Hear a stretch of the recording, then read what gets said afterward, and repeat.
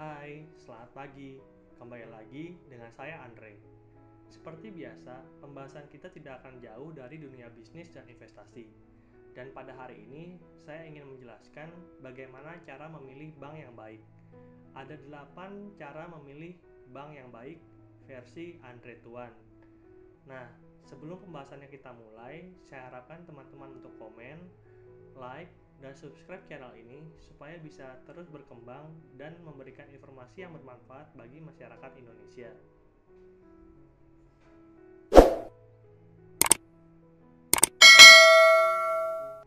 Terima kasih untuk teman-teman yang sudah subscribe channel ini.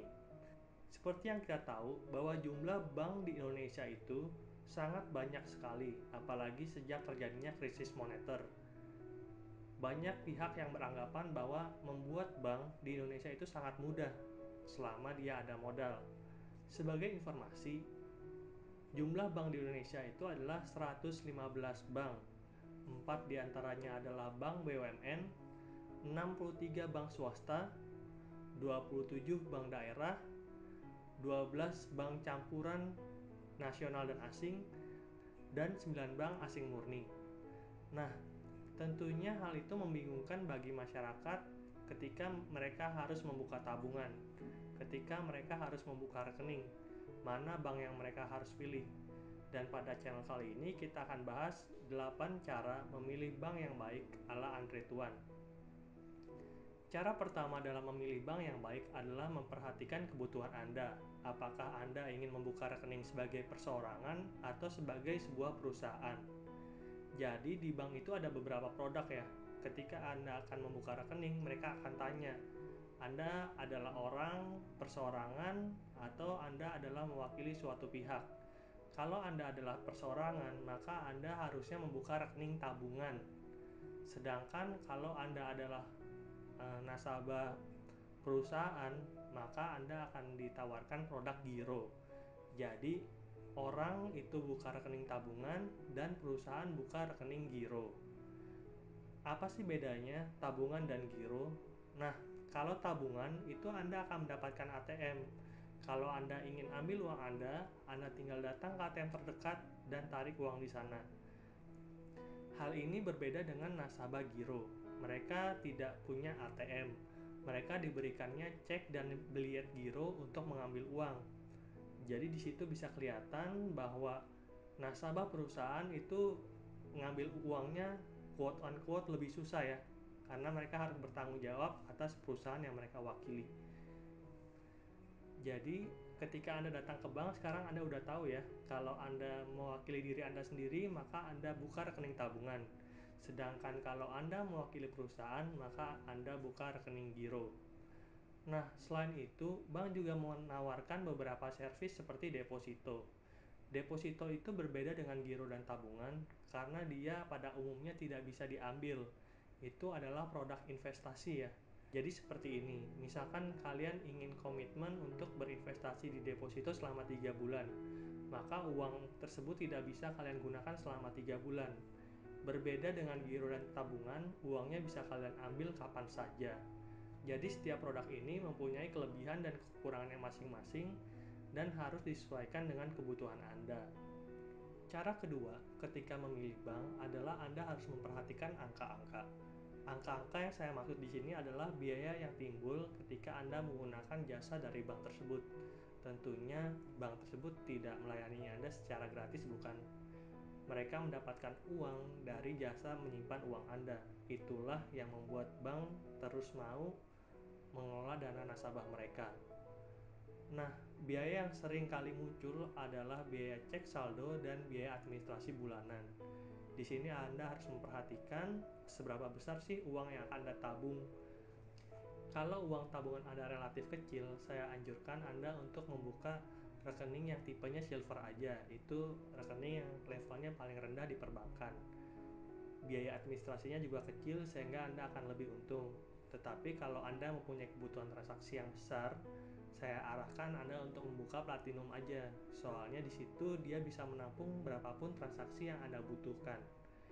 Jadi perhatikan angka-angka tadi ya, berapa biaya cek saldo dan berapa biaya administrasi bulanan yang dikenakan kepada Anda.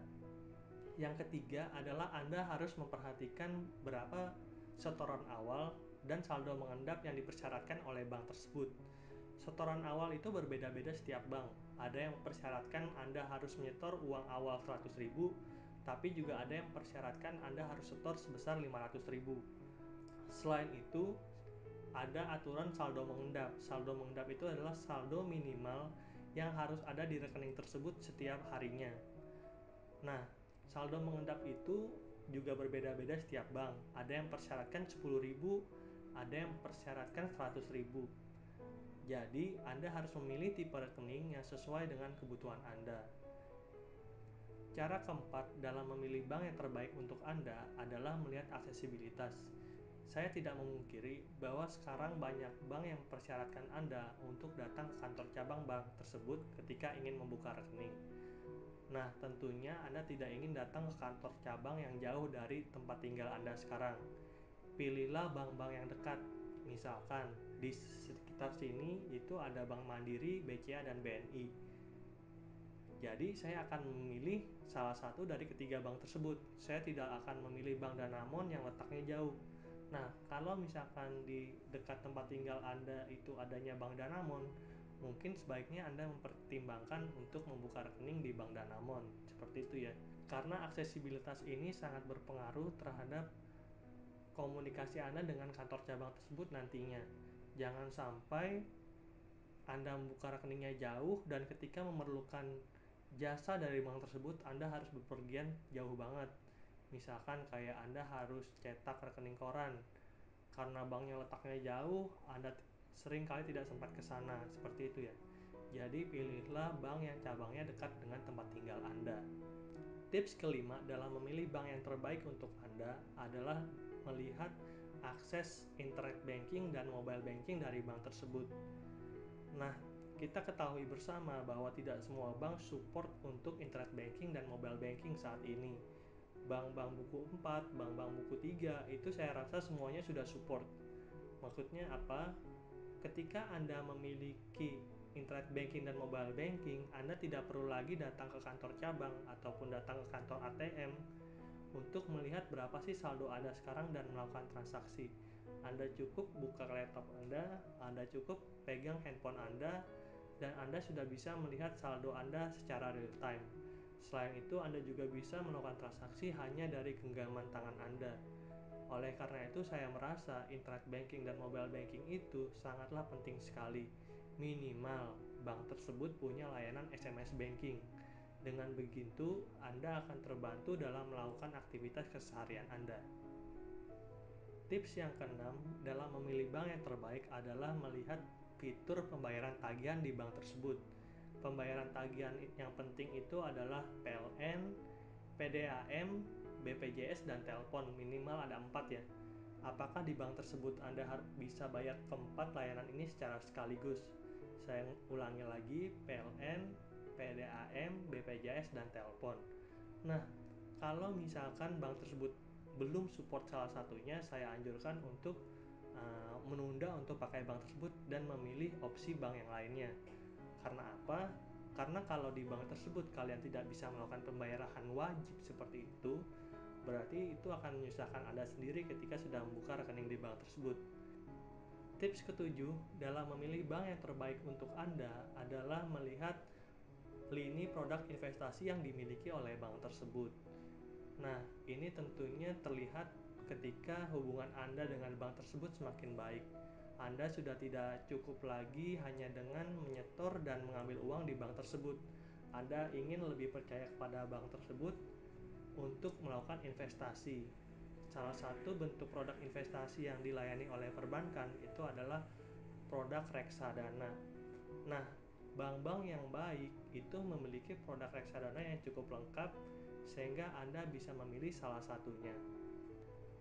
Makanya saya menyarankan Anda untuk bertanya ke CS atau ke teller bank tersebut ketika akan melakukan pembukaan rekening. Apakah nantinya saya bisa membeli produk reksadana, obligasi, sun atau ori di bank tersebut ketika nantinya kalian sudah membuka rekening tentunya akan sangat bagus sekali kalau misalkan bank kalian bisa melayani pembelian produk-produk investasi tadi. Dan tips ke-8 dan yang terakhir dari saya adalah dengan memperhatikan buku dari bank tersebut. Apa sih yang dimaksud dengan buku bank? Yang dimaksud dengan buku bank adalah modal yang dimiliki oleh bank tersebut. Jadi, bank yang saya sarankan itu adalah bank buku 4 dan bank buku 3. Nah, bank buku 4 ini adalah bank yang terbaik dari seluruh bank yang ada di Indonesia, sedangkan bank buku 3 adalah bank yang terbaik kedua. Nah, maksudnya bagaimana? Kalau bank buku 3 itu modal inti mereka adalah 5 sampai dengan 30 triliun. Sedangkan bank buku 4 itu modal intinya adalah lebih dari 30 triliun dengan modal inti yang besar, mereka bisa yakin untuk menjaga uang Anda. Maksudnya, Anda bisa percaya bahwa uang Anda akan dikelola dengan aman oleh mereka. Bahkan, misalkan ada masalah dengan bank tersebut, yakinlah bahwa uang Anda akan terjaga dengan aman. Pemerintah, dengan segala upaya dan tenaganya akan selalu menjaga bank buku 3 dan bank buku 4 untuk tetap beroperasional sehingga tidak mungkin bangkrut. Karena apa? Karena kalau misalkan bank buku 3 dan bank buku 4 sampai bangkrut, itu akan terjadi kerusakan sistemik ya. Maksudnya adalah ekonomi Indonesia mungkin akan hancur kalau bank buku 3 dan bank buku 4 itu sampai bangkrut. Oleh karena itu, makanya saya memilih bank buku 3 dan bank buku 4 sebagai tempat saya menyimpan uang. Oke, itulah 8 cara memilih bank yang terbaik versi Andre Tuan. Kalau misalkan Anda ada pertanyaan, silahkan tinggalkan di kolom komentar. Kalau misalkan Anda suka sama video ini, silahkan tinggalkan like. Kalau Anda tidak suka, di dislike juga nggak apa-apa. Tapi yang pasti kalian harus subscribe channel ini supaya channel ini bisa terus berkembang dan memberikan informasi yang terbaik. Sampai jumpa di video berikutnya. Dadah.